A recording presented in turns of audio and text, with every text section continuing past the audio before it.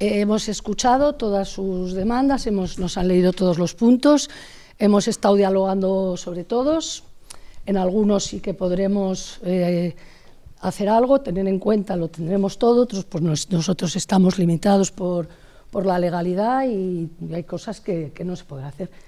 Una vez establecida la sanción, después de respetar todo el, todo el procedimiento legal, hay que calificar la sanción como leve, menos leve o, grave, dependiendo de la calificación de, ese incumplimiento, de esa denuncia, eh, pues es cuando se establece, el, se calcula el daño ocasionado al dominio público hidráulico. Se está siendo benévolo, se está escuchando, se tienen en cuenta todas las alegaciones, si hay defensa, pues se tendrá en cuenta, pero no podemos olvidar que no podemos dar carta de naturaleza al incumplimiento porque eso va en contra de los cumplidores. De las 37 CUAS que en este momento están constituidas, casi todas cumplen. Al final lo que se hace es, unos aportan derechos y otros aportan parcelas. Y lo que hacemos es flexibilizar un riego que de otra manera no habría, no, habría ninguna posibilidad de que se hiciera.